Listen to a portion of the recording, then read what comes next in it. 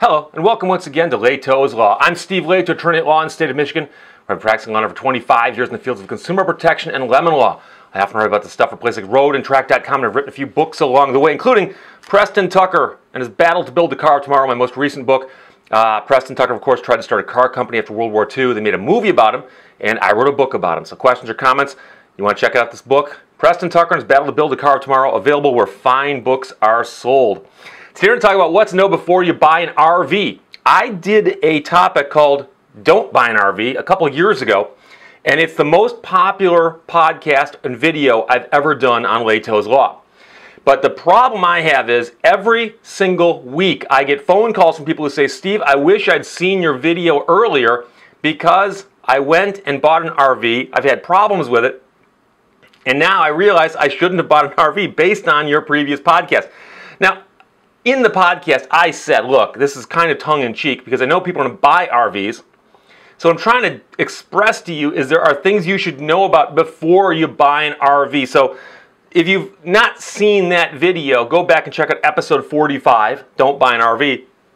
But here's what you need to think about before you buy an RV. Take that into account plus this. Because there are some things that once you realize and you know them, you'll understand, oh, wait a second, this makes complete sense. So first of all, understand that most states' lemon laws don't cover RVs. A couple states do, but most states don't. So if you get a brand new RV with repeated problems, there's no guarantee that you can get the manufacturer to buy it back from you. In fact, it almost never happens. I've been practicing law for 25 years now in the state of Michigan, and I've seen only a handful of RVs ever got, get bought back. And the problems I hear about with RVs dwarf the problems that there are in cars but because cars have lemon laws and RVs don't, cars get bought back, RVs don't. So understanding that, you have to realize that most new RV warranties are meaningless. Most new RV warranties are meaningless. And what I mean by that is this. I get phone calls all the time from people who say, Steve, I just bought a half a million dollar RV, a quarter of a million dollar RV, a hundred thousand dollar RV, or a fifty thousand dollar RV. And by the way, when I say recreational vehicle, I'm talking about whether it's a fifth wheel, a camper, a big one, self-propelled, a pusher. I don't care. They're all the same because they're not cars, okay? So they're all covered by the same laws and it's all the same thing. The industry has evolved a certain way. And so people can buy a $200,000 RV, bring it home, and the first time it rains, the inside's soaking wet because it leaks. So they take it back to the dealership, and the dealership says, ah, I don't know how to fix this. I mean, you know, uh, take it to the factory. Almost every person I've known who's owned an RV with problems has had to take it back to the factory at one time or another because the dealership just said, we don't know how to fix this. RVs are so much more complicated and so complex compared to cars that most RV sellers are not equipped to fix the things that can go wrong with it. And also, most RV owners aren't either. So that's something you should be aware of. So when you're buying a brand new RV, do not think, hey, it's brand new, it's got this great warranty. I wish I had money for every time someone told me, Steve, I bought an RV six months ago, and my RV's been in the shop five of those six months. I've met people who've had RVs in the shop 11 months out of the first 12 they owned their RV. Let that sink in. They buy a brand new RV. They're making payments on it all along and 11 of the 12 payments they make are for months they didn't have it. It was at the factory or at the dealership or a combination of both. And what's weird about it is the dealership is in a hurry to close the deal when they're getting your money. But when you bring back the RV with a problem, they are not in a hurry to fix it. In fact, it appears that they are doing everything they can to delay fixing it. I don't know why they would, but that's what it always seems to be. So knowing that there's no lemon law to force them to buy the vehicle back from you, they don't have this burning urge to fix your RV on time. And it happens all the time. So, what you need to do, the first and foremost, and I hate that cliche, but it's got to be used from time to time, otherwise, it'll fade from use. You have to have an RV inspected, whether it's new or used. And I've had people say, Steve, why should I inspect a new RV? Because it's going to have problems and you don't want to buy one with problems. So you drive by that huge lot, a universe of brand new RVs, and you see RVs as far as the eye can see, right? and they've got 15 of one particular model. I assure you that among those 15, one of them is catastrophically, fatally defective, and one of them is a gem. You want to buy the gem, okay? The dealership might not know which one's good, which one's not. Bring an inspector with you. You can find guys who will inspect an RV for you, and they will tell you this works, that doesn't work, whatever, okay? But keep in mind, there's certain things they can't test. Like they're not going to be able to tell you if this thing's going to leak in a thunderstorm unless it happens to be thunderstorming while you're inspecting the vehicle. But again, have the vehicle inspected. And I know people are right now punching their screens, especially RV sellers, who, by the way, I've gotten hate mail from, because they're saying, Steve, you don't need to have a brand new RV inspected. Yes, you do. Okay? I'm sure you understand that when people talk about buying homes, you get a home inspected, right? If you had a brand new home built to order by a home builder, you would inspect it before you signed off on it. In fact, you'd go through and do a punch list. So inspecting something that's brand new is not that unheard of, but you have to understand that RVs are different from automobiles because it's basically you take a house and you put it on a chassis and you're going to drive it down the road Okay? It's, it's the worst of both worlds because the house can't be built that good, otherwise it, would be too heavy. And, and, and the, the vehicle underneath it has got a house on top of it. So you got to have somebody inspect this thing. And this is something that, again, I meet very few people who say I had these things inspected, but I've never met somebody who said I had it inspected and I got ripped off. At least not on a brand new one. So you have to have the RV inspected. And if you think about the size of the investment, how much an RV is going to cost you, if you're going to spend 50,000 or $100,000 on an object, a thing, okay, something you can lay your eyes on and touch with your hands, why wouldn't you spend 500 bucks or $1,000 and have it inspected? It's an investment. So have it inspected, whether new or used. Now keep in mind, I will tell you this, and any attorney who practices in this field will tell you this. The warranties that come with brand new RVs are almost worthless because of the fact that you bring it back and they'll often take months and months and months to fix it. So, what I would highly recommend to you, and if you look at the comment section underneath episode 45, Don't Buy an RV, you'll see that a lot of experienced RV owners chimed in and said, The answer to your problems is don't buy a new one, buy a used one. and by the way, this is pure genius, and I'll tell you why.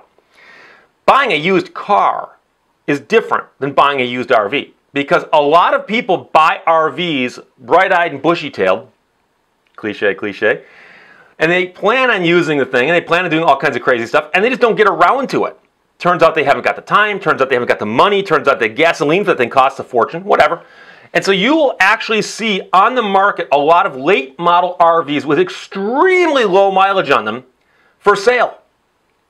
And a lot of these people are desperate to get rid of them because they found out they can't afford the thing. okay? Now, many people will take them back to dealership and try to sell them back to the dealership, and the dealership, of course, will hack you on the trade in and then they'll mark it up and they'll sell it to somebody else. If you're interested in buying an RV and you're thinking about buying a brand new one, I urge you to go online and find a late model one, just a year or two old, being sold by an individual. And here's the thing the individual is going to sell you the RV as is with no warranties. But so would a dealership. Used vehicles across America are sold as is all the time. So what's the difference? Oh, I'm sorry. The difference is that an individual, I personally believe, is less likely to try to rob you than a used RV dealer. okay? Notice I didn't say the used RV dealer is going to try to rob you. I'm just talking about statistics and probabilities here. So go find one. And here's the other thing, and I don't care what anybody says. If I'm buying a used item and I can look at the previous owner eyeball to eyeball, like I'm doing in the video here, I can get a reading as to what kind of owner this person was. And I've known people who bought and sold used cars will tell you the same thing. And so when you go onto a lot to look at a used car or a used RV, and you walk up to a used RV and you go, huh, this thing looks good. Tell me about the previous owner. The dealership doesn't know. They might have got it at an auction. They might have got it at a trade-in, but the salesman doesn't know. Of course he doesn't know. Somebody brought it in on trade. But if you're standing there talking to a guy and it turns out he's a retired gentleman and his, his retired wife is standing next to him and he explains to you he bought it three years ago and he's really hoping to get more use out of it, but he only put a couple thousand miles on it, and it turns out his wife had a medical emergency and can no longer travel, so they're going to sell the thing now. Inspect it and buy it if the price is good. Because number one, you'll get the best price from an individual. They don't need to make a big profit like the used car and the used RV lots need to. But also, it's just you, you can look at the guy and hopefully figure this stuff out, okay? So, but like I said before, have it inspected, okay? So have the thing inspected, but you'll save money. So since the warranties are basically useless from the manufacturer, consider buying one used, okay? And also remember that someone else, number one, when they buy a brand new RV, boat, car, truck, whatever it is, they take the hit on the depreciation. The second it pulls off the lot, it drops in value. They're also the ones who are going to shake out many of the problems with the RV. So don't get me wrong, not all RVs have defects that can't be repaired. Some of them can be repaired. In fact, many of them can be repaired. So let somebody else be the fool who buys it and lets it spend 11 months in the shop being fixed. Then when they sell it to you, hopefully many of those original problems will be fixed. But better price, it works out. The other thing to think about is that a person who's selling it to you as an individual, selling it to you as is, right? Right? And so would a dealership. But a an individual selling an RV is quite often a what we call a motivated seller.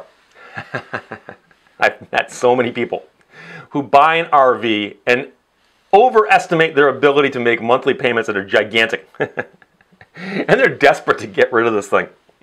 So you can find a motivated seller who's shaken out a lot of the problems of the used RV, just have it inspected. But the other thing to remember, what you need to know before you buy an RV is that an RV is less like car ownership and more like home ownership. And there are people out there who shouldn't own homes. I've met people who bought homes and then they said, weirdest thing happened. They start describing home ownership. it's not weird. Stuff happens to homes, okay? Critters get in the attic. Uh, windows uh, leak, whatever. I mean, things just happen, okay? And you can't plan for them. They just happen, you know? And, and I've owned three or four homes, and every single one had its own little oddities and weird things that happened. Uh, so, home ownership comes along with these uh, surprises, a grab bag of surprises. That's what keeps it interesting. Since an RV, in many respects, is like a house on wheels going down the road, it'll have the same problems as homeownership, and it's exacerbated by the fact that you've got this thing going down the road, shaking and vibrating Can you imagine? Take your house out and drive it around for a few miles. See what happens to it, okay? And you'll have things, you know, get out of square, things that'll break, things that'll shift, things that'll leak. And so when you get yourself into an RV, if you're not handy with tools, okay, and your partner's not handy with tools, and you don't like rolling up your own sleeves and fixing things, okay, RV ownership's gonna be frustrating to you. And I've told people before, one thing you might want to do before you buy an RV is rent one. Okay? And you're doing this for two reasons. One is to see if you like the idea of driving around in an RV and doing the things that you're going to do in an RV. But the other thing is take it and park it at an RV park. Spend the weekend there and walk around and talk to people. You'll find that people camp not to get away from society. They do it to meet other like-minded people. And you'll see guys and gals sitting in folding chairs around campfires by their RV. And if you walk by, nine times out of ten, they'll wave and offer you to you know, come on over and have a beer. Okay?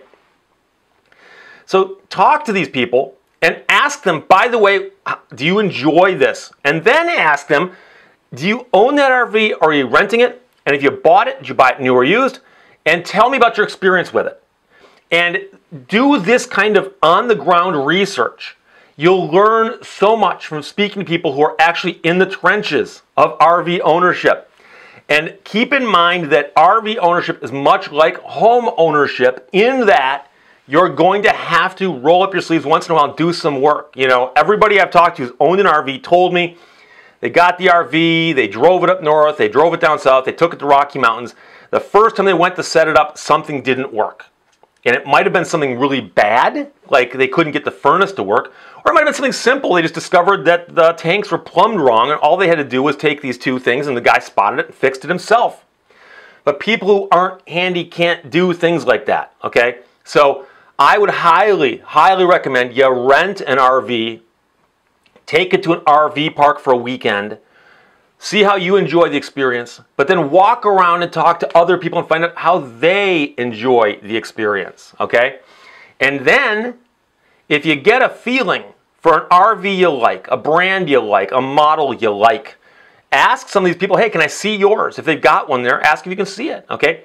And then if you find one that still appears to be nice and these great people you met from other states told you they love theirs, get on the old internet and look it up. Do some research, look for people's commentaries on these brands. There are some brands of RVs out there that I hear about all the time, and there's some brands I never hear about. And I suspect that's because they take better care of their customers. So do the research on that as well. And by the way, everything I just told you, everything I just told you about what you need to know before you buy an RV applies likewise in Michigan and most other states for other things that are not cars, but are big things like all-terrain vehicles, personal watercraft, boats, and motorcycles. None of those things in Michigan are covered by the lemon law. Now, they're not as expensive you know, obviously if you drop, you know, $9,000 on a personal watercraft, it's not as grievous as if you dropped $90,000 on an RV, right? I mean, one's 10 times the other. But trust me, it's just as frustrating. And in many respects, getting a personal watercraft that's defective can um, threaten your life because you could be out in the middle of a lake and it won't start. And next thing you know, you see uh, thunderclouds approaching and you're on Lake Superior uh, you better start making some phone calls and hope you got a cell signal because that's not good. So the ATVs, personal watercraft, motorcycles and boats and so on, same thing. I highly recommend if you get a chance and if you can, rent one first. Find out if you enjoy it. I found out not too long ago that I like being on a boat about once a year.